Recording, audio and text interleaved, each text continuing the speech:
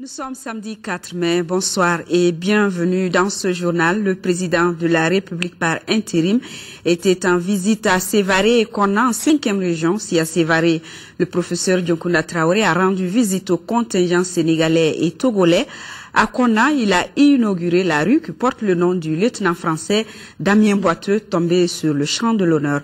Nous vous proposons d'écouter le président de la République par intérim au micro de nos envoyés spéciaux Smela Berthe et Ali Outouri.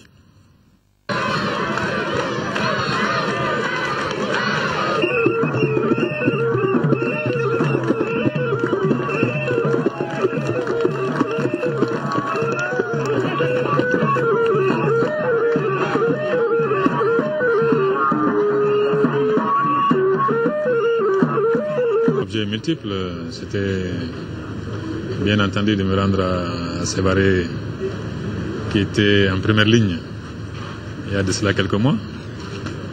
Et donc de me rendre également à Kona, cette ville martyre qui, qui a été le point de départ de la reconquête du Mali. Et bien entendu, de rendre visite à nos troupes et aux troupes amies qui combattent à nos côtés pour le recouvrement de l'intégrité territoriale et pour une démocratie. Je dois dire que nous avons été très bien reçus, aussi bien à Sévaré qu'à Kona, qu'à Mopti. Et c'était le témoignage de la confiance retrouvée.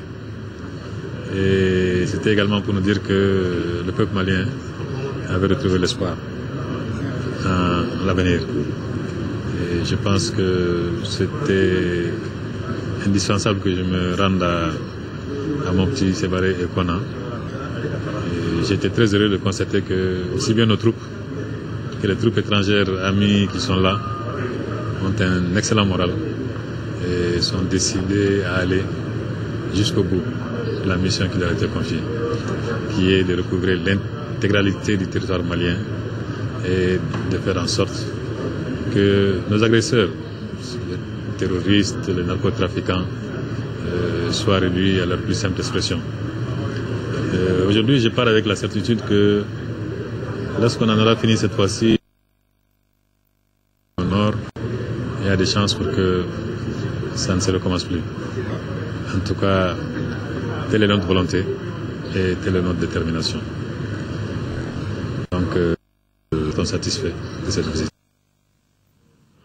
Nous reviendrons plus en détail sur cette visite du président de la République par intérim en cinq. Besoin de formation de ces entreprises.